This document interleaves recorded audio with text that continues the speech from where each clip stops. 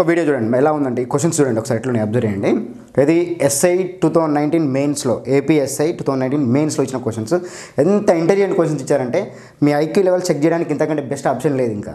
అది చూడగానే మీరు ఆన్సర్ చెప్పేసి యాక్చువల్లీ కానీ అంత ఐక్యూతో ఉన్నారా లేదా అనే పాయింట్ ఆఫ్ ఇంటెన్షన్తో తను తయారు చేసిన క్వశ్చన్స్ అనమాట నేను ఒకసారి క్వశ్చన్ చూడండి.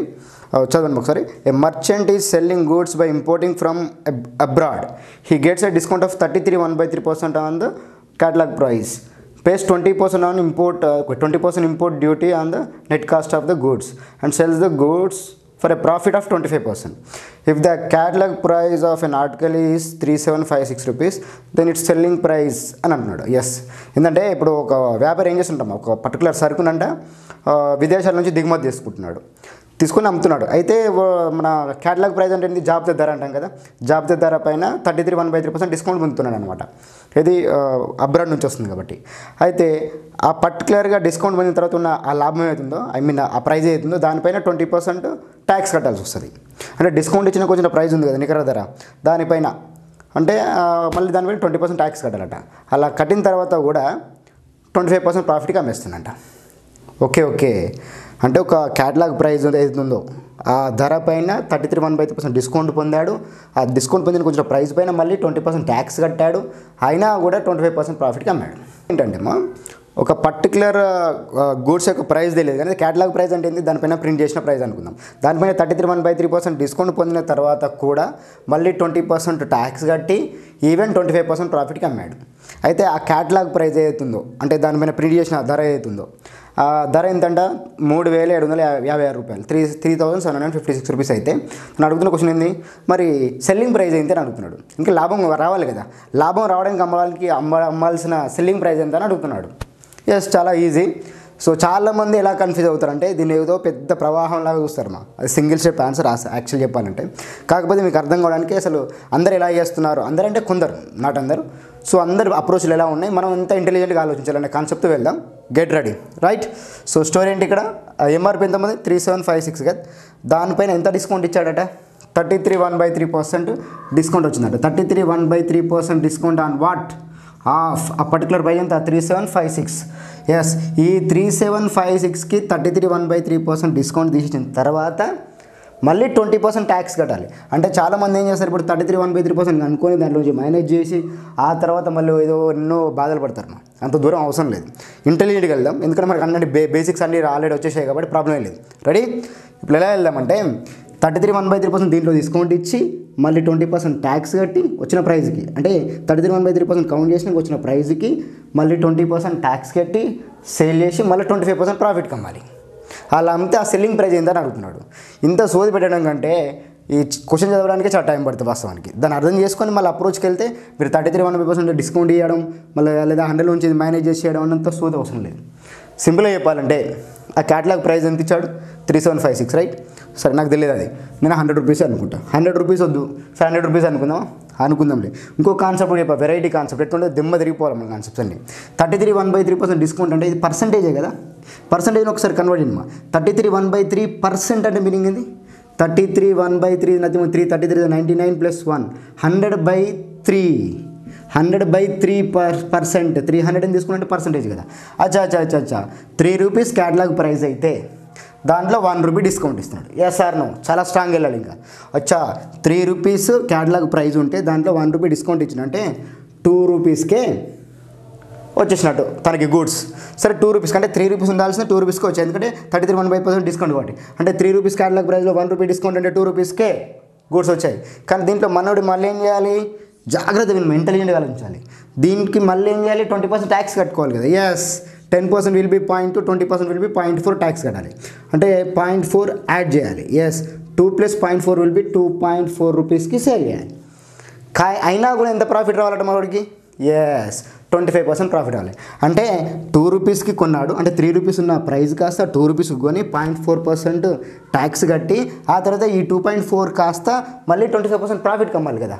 అచ్చా టూ పాయింట్ ఫోర్కి ట్వంటీ ఫైవ్ పర్సెంట్ వాల్యూ ఎంతమ్మా ట్వంటీ ఫైవ్ పర్సెంట్ అంటే వన్ ఫోర్తే కదా అంటే సిక్స్ రూపీస్ పాయింట్ సిక్సే కదా.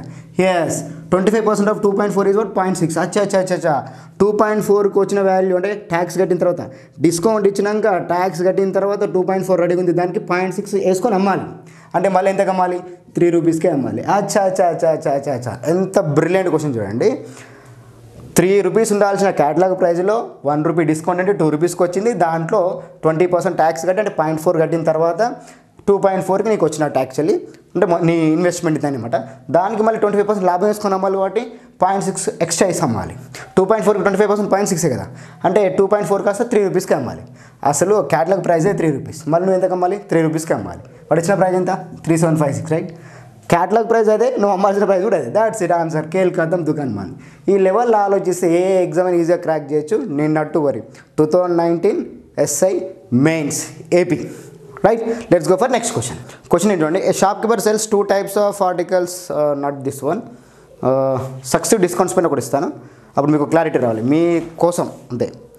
As a shopkeeper offer successive discounts of twenty percent twenty five percent on the market price of an article and gets profit of twenty percent if you wants to make twenty forty percent profit the percentage by which the mark price is to be increase రీజ్ అంటే ఇక్కడ ఒక particular goods యొక్క rate మనకు తెలియదు మా. దానిపైన మాత్రం రెండు సక్సెస్ డిస్కౌంట్లు ఇచ్చాడు.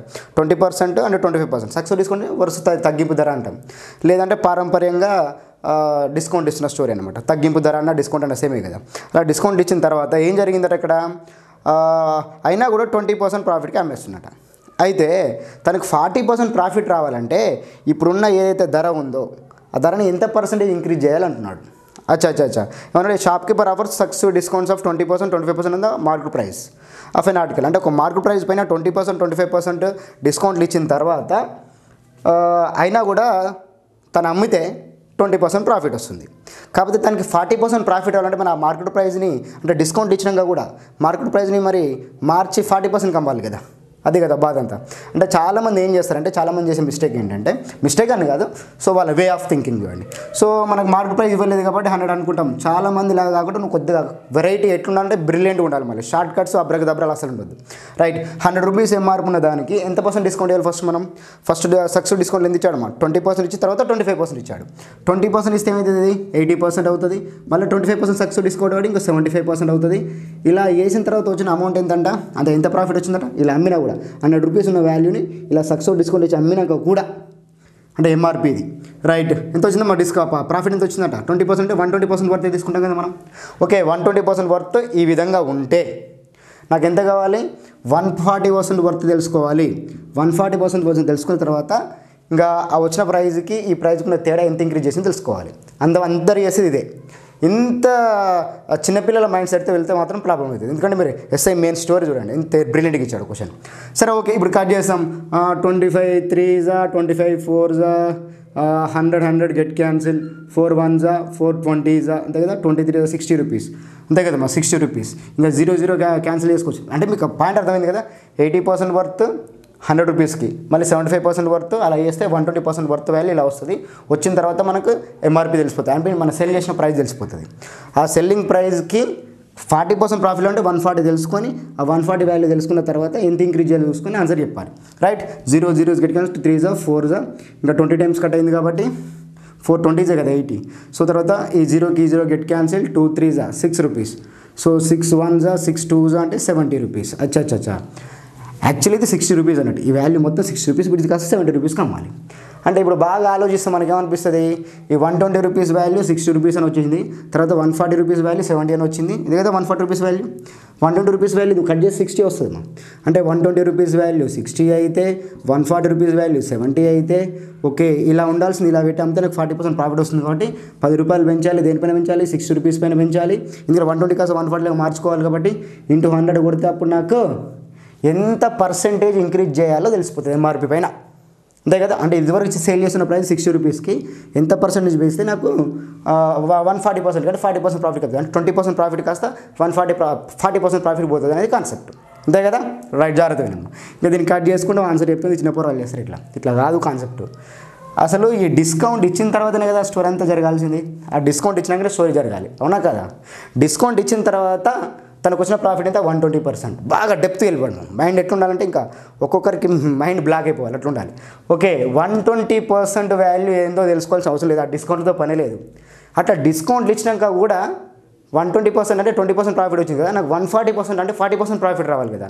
అచ్చా ట్వంటీ పర్సెంట్ ప్రాఫిట్ కాస్త ఫార్టీ పర్సెంట్ ప్రాఫిట్కి మారాలి అంటే ఎంత డిస్కౌంట్ ఏమైనా డిస్కౌంట్ మార్చలేడు కదా. డిస్కౌంట్ అట్లే ఉండాలంట. అచ్చా ట్వంటీ పర్సెంట్ ప్రాఫిట్ కాస్త ఫార్టీ పర్సెంట్ పోవాలి అని అంటున్నాడు. ఇక జాగ్రత్త వినండి. ఇప్పుడు నాకు ఎంఆర్పి మనం అమ్మ జెన్యున్ వెళ్ళాలి. ఎంఆర్పి ఎంత? సరే హండ్రెడ్ అనుకుందాం. హండ్రెడ్లో ఎంత డిస్కౌంట్ ఇవ్వాలని వదిలేయండి.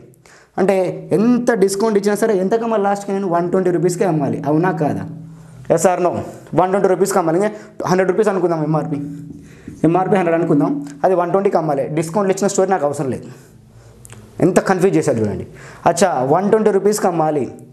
అప్తే ట్వంటీ పర్సెంట్ ప్రాఫిట్ వస్తుంది హండ్రెడ్ రూపీస్ని. నాకు కాదు కాదు వన్ ఫార్టీకి అమ్మాలట. డిస్కౌంట్ ఇచ్చిన తర్వాత కూడా. ఆ డిస్కౌంట్ అనే కాన్సెప్ట్ వదిలేయండి ఇక. అచ్చా వన్ ట్వంటీ కాస్త వన్ ఫార్టీకి మార్చాలి. ఏది ఎంఆర్పి హండ్రెడ్ అనుకుంటే. అచ్చా అచ్చా అచ్చా వన్ ట్వంటీ కాస్త వన్ ఫార్టీకి మార్చాలంటే ఇవే కదా మరి సెల్లింగ్ ప్రైజ్లు మరి డైరెక్ట్ ఆ డిస్కౌంట్స్ అనే స్టోరీ మిమ్మల్ని కన్ఫ్యూజ్ చేయనికే కదా? ఆలోచించండి. వన్ ట్వంటీ వన్ ఫార్టీ అయిందంటే ఎంత పెరిగింది చెప్పండి మా ట్వంటీ రూపీస్ పెరిగింది. దేనిపైన? ఇదివరకు ఉన్న సెల్లింగ్ ప్రైస్ కాస్త ట్వంటీ రూపీస్ పెంచాలి. అంటే వన్ ట్వంటీ పైన ట్వంటీ పైన అంటే వన్ ట్వంటీ పైన ట్వంటీ పెంచితే into hundred years answer. Sixteen two by three percent చూడండి.